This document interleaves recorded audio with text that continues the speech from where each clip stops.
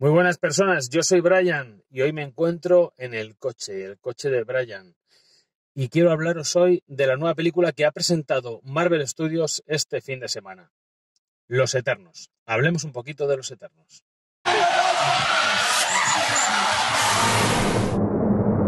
El coche de Brian. De Parla.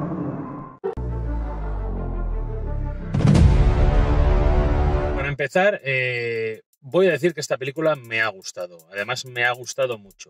De lo que va de la fase 4 de Marvel Studios, eh, incluyendo películas, Sanchi, Viuda Negra y todas las series que ha presentado hasta el momento Disney Plus, para mí Los Eternos es la película que más me ha gustado hasta el momento. Es el producto de Marvel Studios con mucha más enjundia y con mucho mejor eh, desarrollo de, todo lo que va eh, de la fase 4.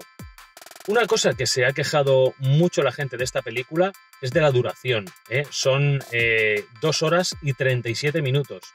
La verdad que es una película bastante larga, pero para la cantidad de personajes que presenta y teniendo en cuenta que tiene que darles el origen, explicarnos de dónde proceden estos personajes y lo que es todo su background, eh, creo que 2 horas 37 eh, o sea, no se puede explicar en menos. Es que son muchos personajes de verdad. Y, es necesaria esta duración. Para mí no se me ha hecho larga en ningún momento.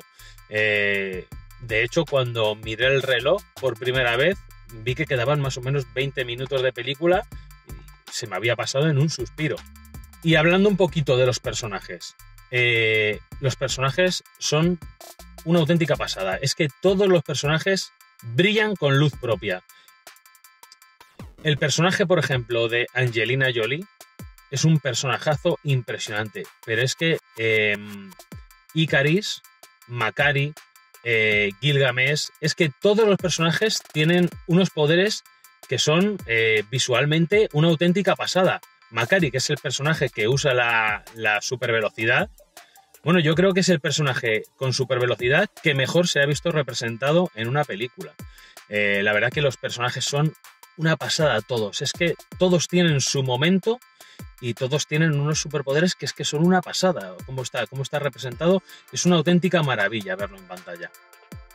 Bueno, quiero decir que la película eh, está perfectamente compensada. O sea, no, encuentras altibajos en, ningún momento. Yo no he encontrado eh, ninguna zona en la que me haya aburrido, como si me pudo ocurrir, por ejemplo, en Sanchi o incluso también en, en Black Widow, ¿no? incluso pues en, capítulos de, de, algunas de las series, ¿no? Que eran auténticos relleno. Para mí esta película, eh, todo lo que cuenta es interesante, desde el principio hasta el final, incluyendo eh, algunos giros argumentales que, que, no, que no se pueden ver venir para nada. O sea que la película es una maravilla, de verdad. Y una buena película de superhéroes, ¿qué necesita? Eh, pues unos buenos villanos. Necesita que, los villanos sean unos, villanos, con empaque, con enjundia. Y esta película tiene más de uno. ¿eh? Y, no quiero decir más porque, bueno, como voy sin spoilers, eh, no quiero contar mucho más allá porque es que cualquier detallito os puede estropear la película. Pero decir que, los villanos eh, son, unos villanos eh, guapísimos, son, unos villanos chulísimos y que pueden incluso, algunos de ellos, tener desarrollo eh, más adelante en el, UCM. Y bueno, para, ir cerrando, decir que este jueves estaremos en Twitch. Voy a estar en Twitch con, mis compañeros Hal 9000 y con Travis.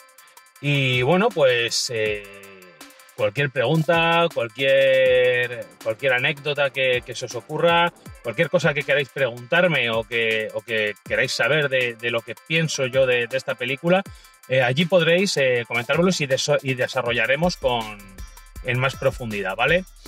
Así que bueno, por terminar, cerrando, una película que me ha sorprendido muy para bien. O sea, yo la meto entre mi top 10 de Marvel Studios, pero sin lugar a dudas, sin lugar a dudas y me atrevería a decir que muy cerquita del top 5. ¿eh? Es una película que es que me ha gustado un montón. Espero que se le dé mucho más desarrollo a estos personajes en el futuro y que podamos ver más de ellos. Sin lugar a dudas, vamos a ver, muy importantes las escenas post-créditos. Además, las dos, eh, porque ya sabéis que, Marvel muchas veces eh, te enseña una escena post-créditos. La primera es interesante y la segunda no pinta nada. Pues aquí las dos pintan. Aquí hay que esperarse hasta el final de los créditos de, toda de todas las letras con el fundido en negro. Esperar a que, a que aparezca esa segunda escena post créditos porque a mí me ha gustado más incluso que la primera. Así que bueno, decir que en esta película también tenemos no uno, sino dos reyes en el norte. Hablaremos eh, de Juego de Tronos también en, Twitch este fin de semana, ¿eh, Travis? ¡Nos vemos!